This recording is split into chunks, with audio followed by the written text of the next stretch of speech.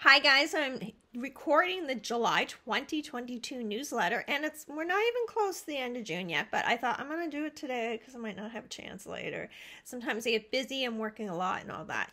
Which brings me back to what I say in every video. I am still working on a book, the next one in the Hernandez series, Following Loyalty Above All. There are no exceptions.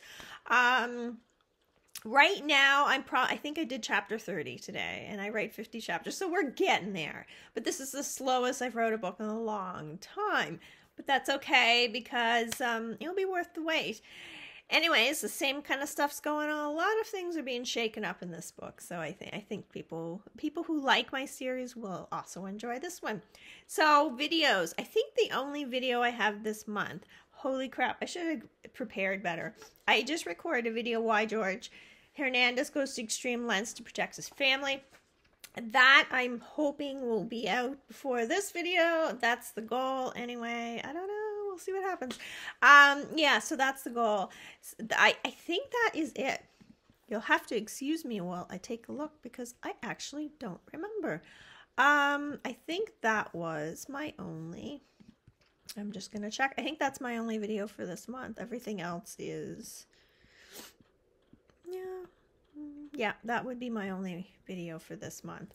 Anyways uh it's like it's been tough. It's been tough. I'm really busy and as i've mentioned before i'm trying to put all my videos on rumble. I have over 200 videos. It's taking time and i just kind of work at it a little bit when I'm not at work and not busy doing other things. So, anyways, guys, if you guys have any questions that you want me to talk about to address in a future video and blog, because I usually have the corresponding blog to go with the video and stuff, you know, talk with my hands.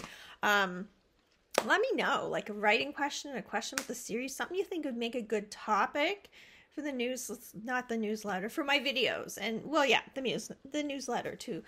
Um, me know because I'm always open ideas.